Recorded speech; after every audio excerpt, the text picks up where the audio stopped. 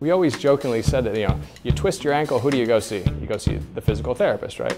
Oh, I hurt my back. Well, who do you go see? Well, you go see the physical therapist. Well, I'm getting pain on my bike. My back hurts while I'm riding a bike. So you go to see the bike shop. And so you'd go to see a bike shop employee uh, that, you know, that wasn't quite as well versed in anatomy and all the understanding of the body and actually who treats pain. So from that, I was kind of like, wow, wouldn't this be a great idea if we could kind of marriage the medical side with the bike fit side?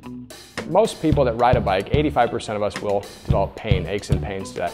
Um, yet there's never really been a clinic or a physical therapy office geared toward those specific cyclists. Having experienced that pain, been able to remedy my own pain, all of a sudden I was like, man, this seems kind of like a cool idea, and especially to be in Southeast Portland and on Clinton Avenue that sees, you know, 2,200 bike trips a day.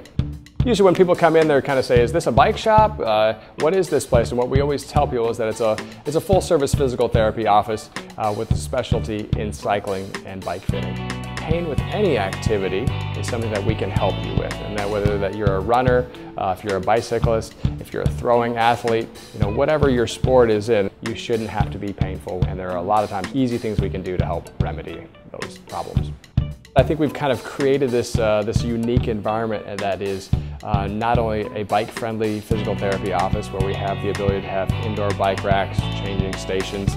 Uh, we actually just got a gold level uh, certification from the American League of Bicyclists. We've brought this kind of idea of sustainability, bike friendliness, um, as well as catering toward these, you know, these unique individuals with very specific needs. It's awful hard to uh, see somebody that's not a bicyclist and try to relate to them what your problems are. If you're a bicyclist and you're experiencing pain or if you've been in a bike accident uh, or anything like that, uh, there's going to be no other office in town that is going to be able to cater to you uh, specifically for those needs as much as we are here. Hi, this is Kevin Schmidt and I'm looking forward to helping you guys out at Pedal PT.